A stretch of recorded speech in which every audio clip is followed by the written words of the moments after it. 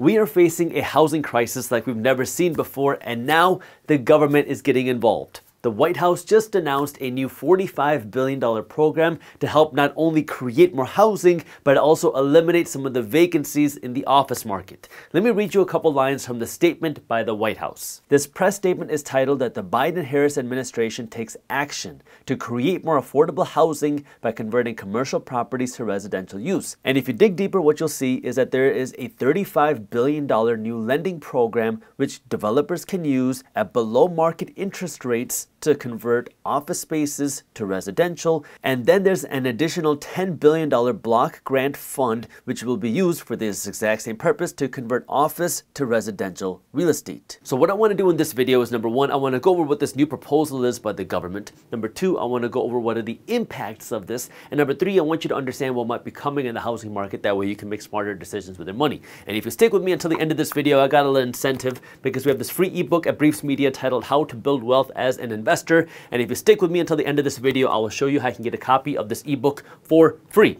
All right, now let's start by talking about why the government created this new program. The reason why the government created this program is because we have a massive supply shortage of homes in the United States. We have a very low inventory of homes because number one, people who own their homes don't want to sell their homes. And number two, builders are being less confident in going out and building more homes, meaning builders are building less homes. The reason nobody's selling their home is because if you own a home right now and you have a 2, 3, or 4% mortgage, maybe even a 5% mortgage, if you sold your home today and moved into a new home, you'd have to go and get a new 8% mortgage. And a lot of homeowners are saying, well, I don't want to have to go and sacrifice my 4% mortgage or get an 8% mortgage, so we're just going to stay in our home a little bit longer. So you have homeowners not wanting to sell because they don't want to go and get the higher mortgage.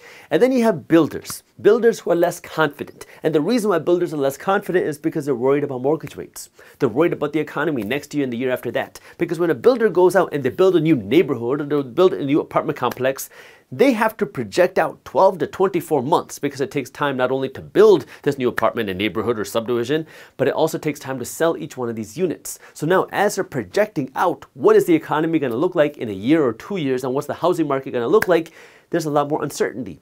And that uncertainty means less new building. And that less new building means less inventory for sale. So now, even though we've been seeing mortgage rates rise, home inventory for sale has not been rising, which means mortgage rates have been rising, prices have been staying high because the supply of homes is so low, and so now you have high home prices and high mortgage rates, which means housing affordability has been falling very quickly. This has made it very difficult for a lot of people to go out and buy a new home, and this is where now the government is coming in and they're trying to increase the supply of homes available for sale. And the way they're trying to increase the supply of homes available for sale is by incentivizing developers, incentivizing builders to go out and build new apartment complexes and new condos. How are they doing that? They're not talking about in this proposal building new subdivisions and neighborhoods in the suburbs. It's by taking office spaces that are vacant and incentivizing them through subsidized mortgages lower interest rate loans and grants to go get this money and go out and convert these office spaces to residential. Now, why does this matter? Because it is expensive to convert an office building or office space to residential. And the reason why is because sometimes office spaces have weird layouts. And when you have a residential home, well, you got to have places for your plumbing and places for your electrical and places to have sleeping area and living areas. So it's a very different layout. So sometimes it can be very expensive to convert an office space to a residential space. And sometimes, well, it's just not financially feasible to now spend all this money to convert an office space to a residential space. And so if you had to do it as an investor, well, maybe it wouldn't make any sense. But now if the government is giving you free money, or cheap money to go out and do this, now it can become much more attractive. So on one hand, it's a way to incentivize developers and builders to now go out get this free or cheap money to go out and start building and convert this into residential. That way there's more homes available for sale. But there's a little hidden factor here that you want to understand as well. And the hidden factor is, well, let's call it the $1.5 trillion looming problem in the commercial real estate market. And what that problem is, is that we have a lot, about a trillion and a half dollars of commercial real estate debt that is coming due What that means is in the commercial real estate market, you don't have 30 year fixed rate mortgages. If you went out and you bought an office building today, generally what's going to happen is you're going to get something like a five year adjustable rate mortgage, meaning you're to get a loan for five years, and then after five years, the interest rate's to readjust. Well, what we've seen happen is that over the last number of years, when interest rates were very low, you saw a lot of people go out and start investing in real estate. One of those places was office real estate. And so now, if you own office properties and you got a refinance in 2020 or 2021 where mortgage rates were very low, like what everybody else did, well, that means 2024 and 2025, you're to see your loan potentially come due or your refinance coming due. That means the readjustment could be coming. And if the readjustment is coming, that means now if your mortgage rate is significantly higher, your payments could also shoot up. So now people might be going from this 2 to 3% mortgage to 7, 8, 9% mortgage in 2024 and 2025. There's about $1.5 trillion worth of commercial real estate debt that is expected to come due by the end of 2025. So now the question is if these payments come due and now all these landlords have to pay more money, can they continue paying the higher payments? And generally, what would happen in the past in a normal market is sure, you pass the cost down to your tenants. You raise the rents for your tenants. But when you are in a market where offices are still vacant in a lot of instances across the country, you're still seeing high office vacancies, well, that starts to pose a different problem because that means you're already not generating enough revenue as it is. And now, if your expenses start to rise even higher, that makes it even more difficult now for you to continue refinancing or making your payments because now your payments are higher, but you're not having any revenue come in the door as it is. So you can start to see now the government is starting to get worried about this future commercial real estate issue potentially coming in the coming two years because, well, now they're trying to reduce some of this office vacancy. How are they reducing some of this office vacancy? By telling developers to convert some of this office space to residential. Now, of course, we have about a trillion and a half dollars of commercial real estate debt coming due in the next couple of years. Not all of this is office.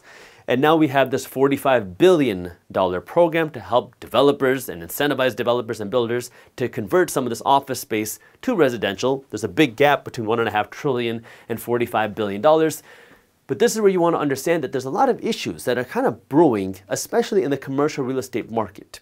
And as we start to see what happens with interest rates in 2024 and 2025, well, that's going to kind of indicate what might happen, especially in the commercial real estate market, because a lot of people are saying 2024 is an election year. President Biden wants to win the election again. One of the things that could help him win the election is if interest rates potentially fall, which means you could see some political pressure by the government to push the Federal Reserve Bank to start cutting interest rates. Now, the Federal Reserve Bank is a separate and independent entity from the government, at least it's supposed to be.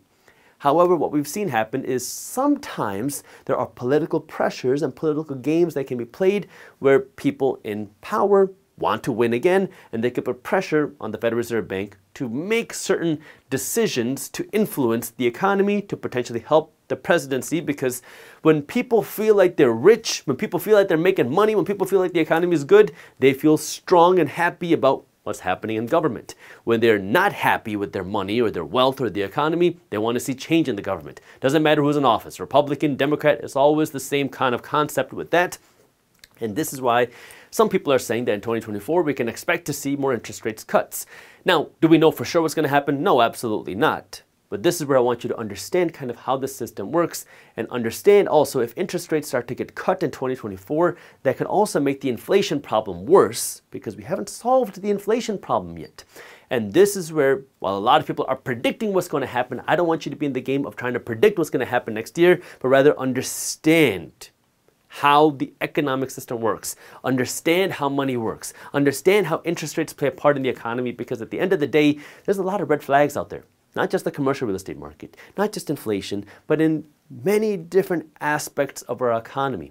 And these things then create opportunities for those who are financially educated, for those who understand money, for those who are prepared. Prepared meaning you have some money put aside, which means you don't use 2023 as the year to go out and finance a new truck, even though we are seeing truck prices finally start to come down, used truck prices, but you use 2023 or whatever's left of 2023 as the year to get financially smart to build a financial preparedness, to build a financial cushion, to understand what's happening. That way you can capitalize on whatever opportunities might be coming your way. But this is where it's important for you to start building that financial education. Now, like I said in the beginning of this video, if you want to get a copy of this free ebook, How to Build Wealth as an Investor, you can do so. The way you can get a copy of this ebook is by clicking the link down in the description below or by going to briefs.co slash ebook. This is an ebook that walks you through the basics of how do you build the mindset of an investor, to how do you save your first couple thousand dollars, to then how do you start investing your money? What are different investing strategies? How do you start investing for cash flow? And then it goes into things like how do you spend your money smartly? And then it goes into things like how do you earn more money smartly? And then it goes into things like how do you protect your assets? There is a ton of value in this ebook, and you can read this ebook for free. So if you want to get this ebook, I've got the link for you down in the description. And with that, I'll see you in the next video. Read this title from Fortune magazine. The US housing market has gotten so expensive that incomes would have to jump 55% to make buying a home affordable. America is currently experiencing one of the least affordable housing markets of all time. Now, there are three things that could happen to make housing more affordable. Either incomes could rise